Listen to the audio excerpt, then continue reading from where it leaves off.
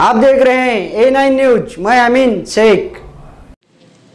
आज Karnataka state minorities department Congress party के जो हैं सदर जनाब अब्दुल जब्बार साहिब हुबली अंजुमन के सदर यूसुफ सन्नू साहब अल्ताफ और भी कई लोग थे शामिल। हाँ। क्या बोले? सर अभी आप जेल के अंदर से आ रहे हैं तो जो लोगों से आपने मुलाकात की उनके क्या हालात है और क्या उनके आज कर्नाटका स्टेट माइनॉरिटीज़ डिपार्टमेंट जो कांग्रेस पार्टी का है उसके सदर जनाब अब्दुल जब्बार साहब उसके बाद हुबली अंजुमन के सदर यूसुफ सोनूर साहब हो हमारे अल्ताफ कित्तूर साहब हो।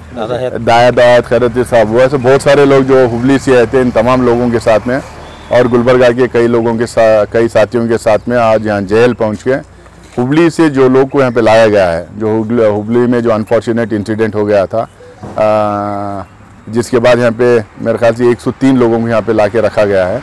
तो उनकी खैर खैरियत पूछने के लिए और उनसे मिलने के लिए और उनके घर से कपड़े मेडिसिन कपड़ा उनको पहुँचाने के लिए और उनको थोड़ा हिम्मत देने के लिए हम तमाम लोग यहाँ पे पहुँचे थे।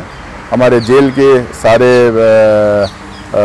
जो अधिकारी हैं, जेल ऑफिसर है, सुप्रिटेंडेंट है, उन्होंने सब बहुत कोऑपरेट करके आज बातचीत करवाए। पाँच छः लोगों को बुला के बातचीत करके हम आज उनको हिम्मत अफजाई करने का, उनका हौसला बुलंद करने का काम हम लोगों ने किया है। उनको ज़रूरत के सामान पहुँचाने का काम आज किए हैं। और आने वाले शब कदर को और ताखरात में उनके लिए इंतज़ाम। और साथ में ईद के दिन सिर्फ़ इनको ने जितने भी यहाँ पे लोग जेल में हैं मेरे ख्याल से चौदह सौ लोग जेल में हैं पूरे चौदह सौ लोग सिर्फ़ ये हुबली वालों को नहीं सबको जो है ईद के खाने का इंतज़ाम भी हम लोगों ने यहाँ पे रिक्वेस्ट करके आए हैं। और हर दिन यहाँ पे इफ्तार के लिए भी आ, हमारे गुलबर्गा के बहुत सारे हजरात जो है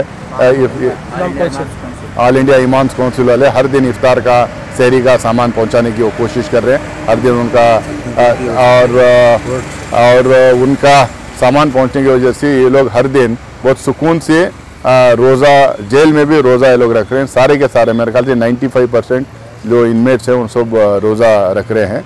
और हम लोग बाहर भी कोशिश कर रहे हैं, बैंगलोर से हमारे एडवोकेट्स की जो टीम है, उनको लगा रखे हैं। हुबली के एडवोकेट्स की टीम को लगा रखे हैं। वहाँ के अंजुमन और जो जिम्मेदार हजरात हैं, उनके साथ कोऑर्डिनेट करके हम लोग कोशिश कर रहे हैं कि जल्द से जल्द इन लोगों को जितने से जितना जल्दी हो सकते हैं इन लोगों को बाहर निकालने की कोशिश कर रहे हैं। और इसके साथ में भी वहाँ पे हुबली में हम लोग कई प्रोग्राम्स आने वाले दिनों में करने वाले हैं जिससे जो है हिंदू मुसलमान सिख ईसाई सब आपस में मिल के रहें और इस तरीके हादसे आने वाले दिनों में ना रहें दिनों में ना हो।